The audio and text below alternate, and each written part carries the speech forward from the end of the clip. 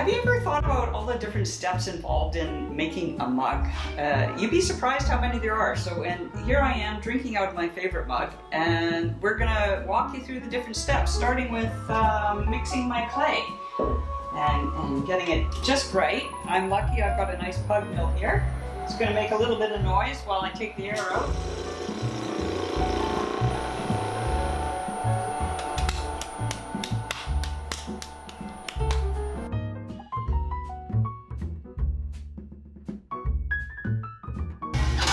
First we need to center the clay.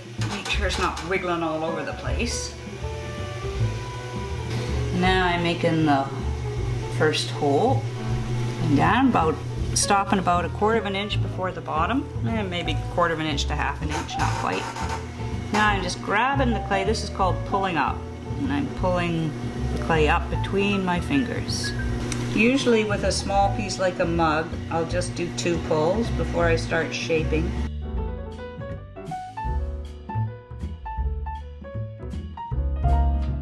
Got a couple of different ribs I like to use for the final shaping here. Start out with my slightly curved one.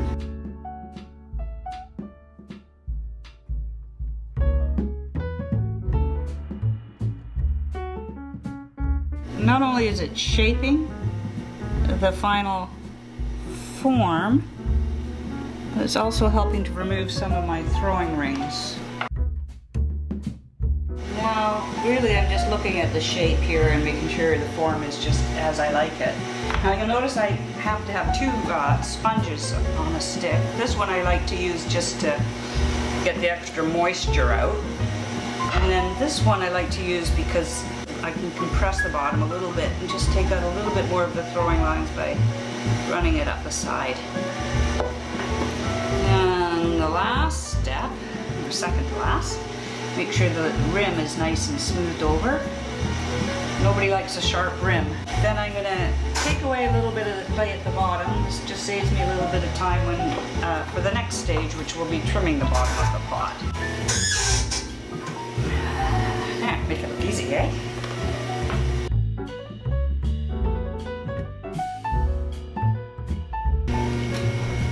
Okay, so now uh, I'm going to trim the bottoms of the mugs. This tool that I'm using to hold the mug in place while I'm trimming it is called the Giffen Grip. And the clay has to be still fairly wet, otherwise when you go to put your handle on, it'll crack in the drying stage. So you have to tread gently, so to speak.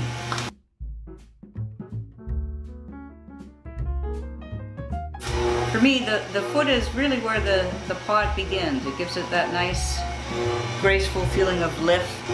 Now once you finish the trimming part, kind of torn open the clay, so we need to seal it up a bit, otherwise you'll get a lot of pinholes when you go to glaze it. Now I'm going to the all-important uh, signature part. There we go, signed.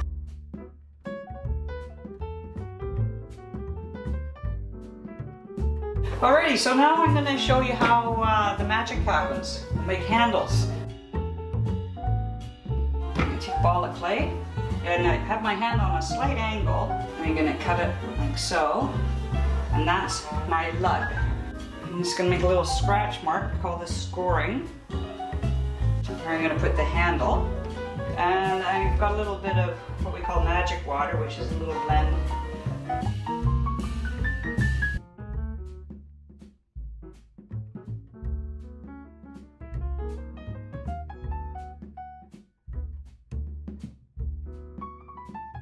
So, isn't that magic?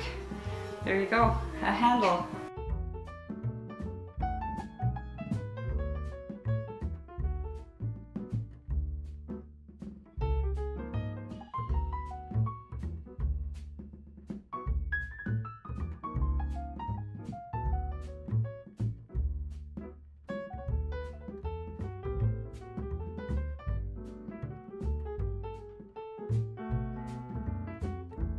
All right, so uh, we've bisque fired everything now. That's the first firing. And my assistant Beatrice is gonna now unload the kiln and B is going to wax the bottom of all the pots that we made. Before we get to glaze them, we need to wax the bottom so that when we dip them in the glaze, the wax runs off nicely and uh, we don't waste a lot of extra glaze and time.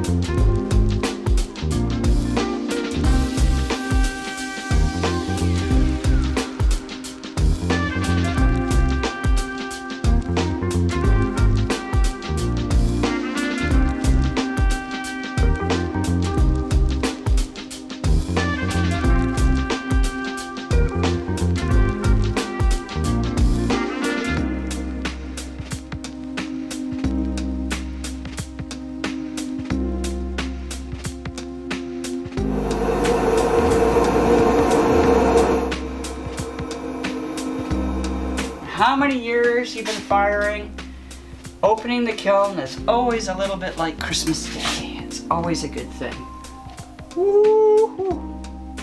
And there we go, first look.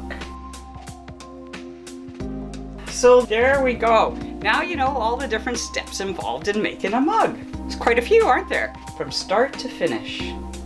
That's our Hamada Rust with Nuka. This is the Nuka glaze over top where you saw us pouring an extra layer of glaze. That's this one over top of this one. All ready for your morning cup of coffee.